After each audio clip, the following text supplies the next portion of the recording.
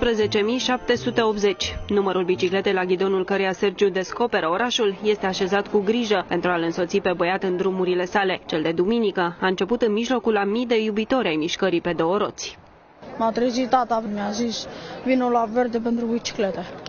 Până acum, în Timișoara au fost împărțite peste 14.000 de numere de biciclete, atât pentru amatori cât și pentru profesioniști. Pe mine nu o să mă vedeți niciodată într-un taxiu sau mijloace de transport. Pasiunea asta o am din tinerețe, de când eram copil. Am cutreierat toată lumea, am fost toată Europa, Statele Unite, Asia pe bicicletă, așa că n-am păr în cap câți kilometri am. Pasiunea de sport, de sănătate, eu numai până la Barcelona am fost cu bicicleta anul trecut și este vorba foarte mult de sănătate. În ultimii patru ani, de când mișcarea verde pentru biciclete a prins viață la Timișoara, numărul celor convinși să lase mașinile acasă și să aleagă mișcarea pe două roți a crescut considerabil. La început a fost o modalitate de petrecere a timpului liber.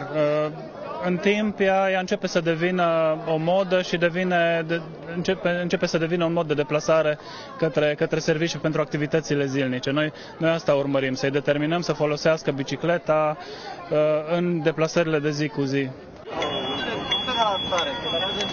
Cu biciclete bine dotate, coșuri pline de flori și mii de baloane, timișorini au pus stăpânire pe străzile orașului. Îmi place foarte mult, mă relaxează fiecare zi, ies, chiar și pentru mine cât, la câte o plimbare. Am acest suport de cască care se va pune exact așa.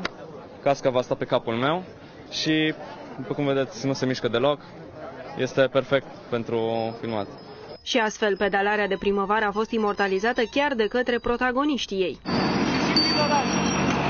Acțiunea din weekend și-a propus să promoveze și un proiect al autorităților locale, prin care timișorenii vor putea închiria gratuit biciclete din 25 de puncte amplasate în stațiile RATT. Proiectul costă aproximativ 2 milioane de euro și a fost aprobat de consilierii locale acum un an și jumătate.